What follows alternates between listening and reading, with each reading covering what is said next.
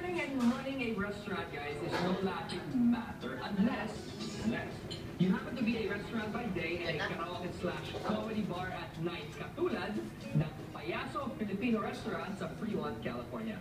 Payaso is both the Spanish at Tagalog word for cloud. So mga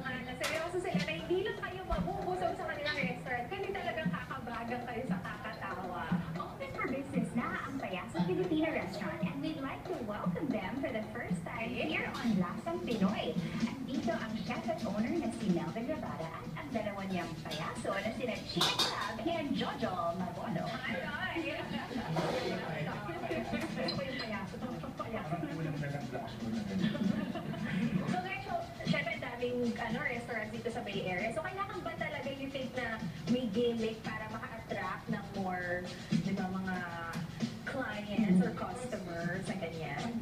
Kasi, ano, like, for example, ang daming Filipino restaurants. So, they pretty much uh, serve the same uh, Food.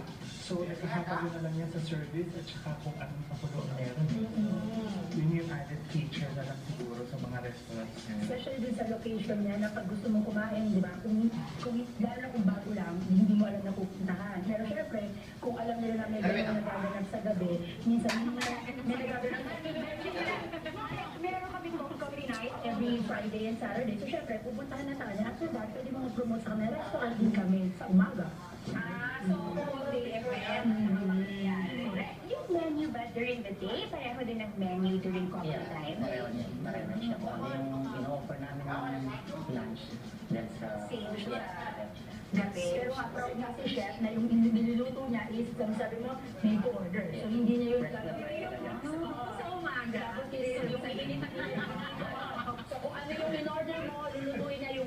Yung minute mo daw yun yung tinubo mo yung Pag pagkain. yung yung pagkain namin, pag pininit mo siya sa microwave, yun ang unang-unang minute. Yun ang talaga na nakaka- meron kita pa rin lulutuin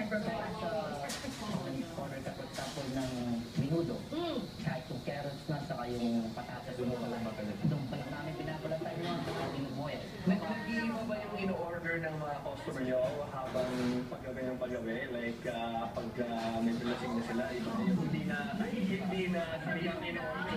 Hindi na wholesome. From veggies to... Crispy pa ata na Basta lang sa halata. Sabay ako pa nagtawa sa high blood and combination niya, mapahaba ng buhay. Pa-describe naman sa mga viewers natin yung type of comedy na meron sa club ninyo ng Friday and Saturday nights. Is this uh, wholesome for the family to bring the children or uh, 21 and over. 21?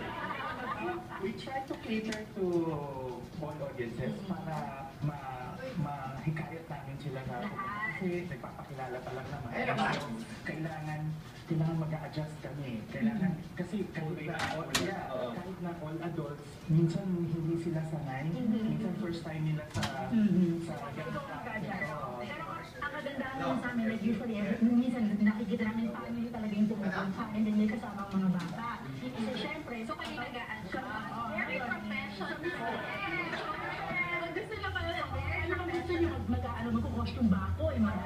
Pero, yeah, pero nakakatawa, minsan sasabihin nila ang comment nila, mo, oh, buti meron ng ganito, at least may matatambayan na kami. So, uh, introduce us to yung mga dishes na dinala mo. Dala kami ng uh, pork belly barbecue. Uy. Yun, fresh na fresh sa sinihaw. Uh, Hindi na ulit minute lang sa microwave. So, puro lahat ng dala namin. Or Fresh na mga Meron tayong uh, sinigang. Siyempre, sinig- Singapore na mukha ko.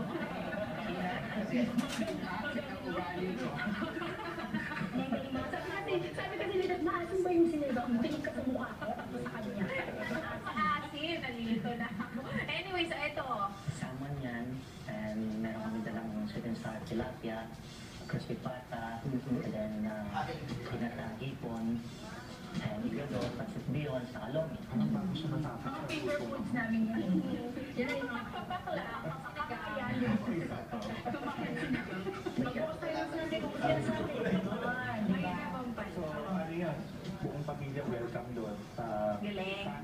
At saka meron sa, kung gusto nila magpa-reserve kung may part, part, Party, ayan.